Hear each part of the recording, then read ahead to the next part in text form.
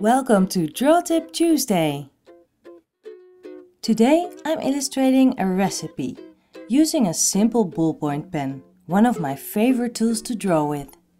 First I made a rough sketch of what I want the drawing to look like. On the bottom right you can see how I sketched the layout.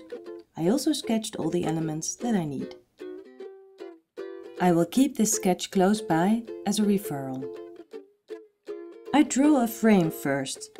Today I'm in for a sketchy style, so I draw in quite a few lines. Then, looking at my sketch, I lightly draw in all the elements. Of course, if it feels safer, you can use pencil first and trace the drawing later in pen. Ballpoint pen can take quite a while to completely dry, so leave it for a bit before erasing your pencil lines. The ingredients part is very important when illustrating a recipe.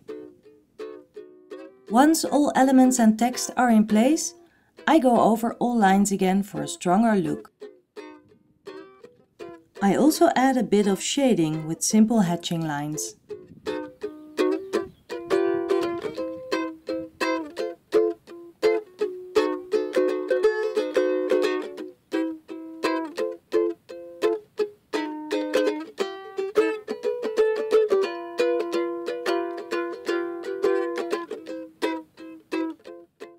You can use some color to finish this off.